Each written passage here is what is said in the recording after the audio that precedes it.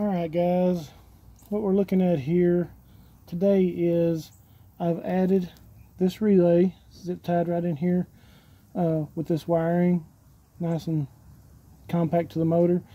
I've read on a few different posts that when you put an aftermarket fuel pump in these Mercury engines like this that they have a tendency to burn up the circuit that's in the computer. So I didn't have any problems so far, but I figured better safe than sorry. So what I did was uh, cut the wires that went to the actual fuel pump, and I added in this little 30 amp relay to uh, supply the pump so that the computer isn't having to supply so much voltage. This relay only draws about a quarter of an amp.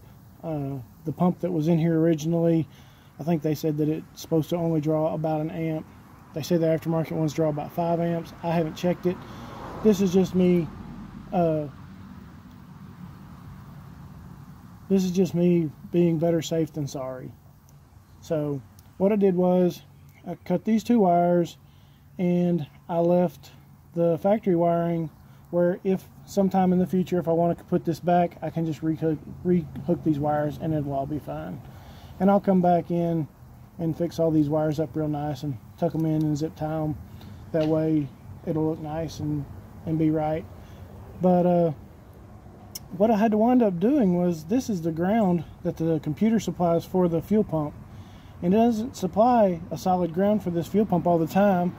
It supplies a ground when it determines that it wants the fuel pump to run.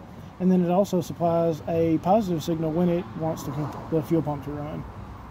Well, I was having a problem. This relay was staying energized because this, the computer does not pull this wire completely off ground. It supplies a very small charge to it, even when everything's off. So it was making my relay stay energized. My fuel pump just wouldn't go off. So what I wound up doing was just grounding the fuel pump solid against the block here. That may not be the best solution, but it actually made everything work and allowed me to use my relay the way it's meant to be done. Now, when the key is turned on, the pump primes up just like it should. Uh, doesn't have any alarms that come on on the computer or anything.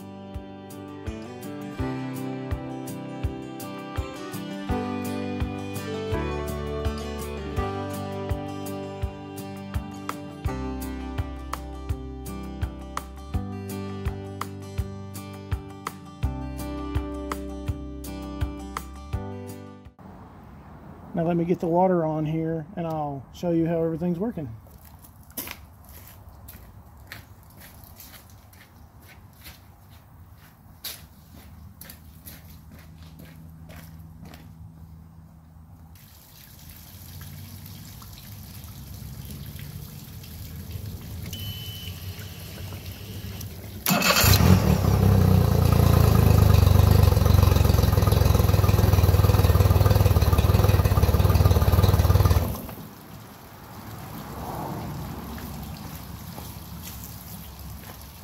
Working just like it should. For a little bit up more up close look, this here is the ground for the battery cable that goes to the battery.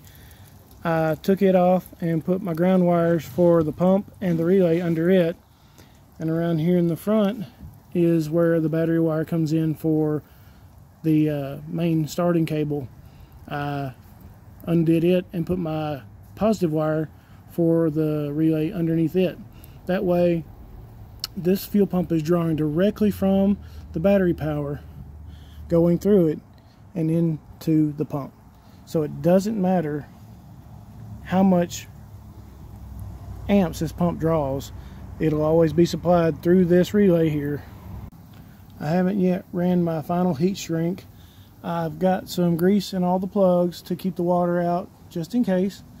But I'll run the heat shrinker over it and let you see the final result.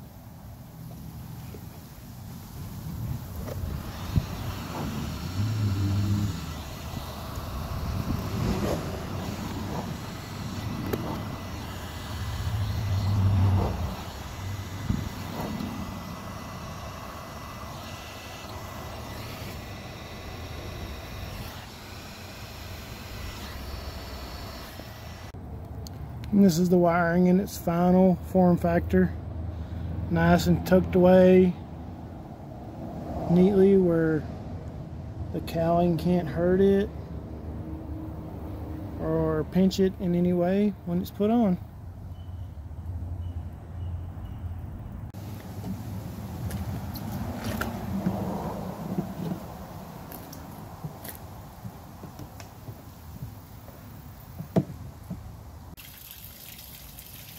How about one more startup, just for good measure?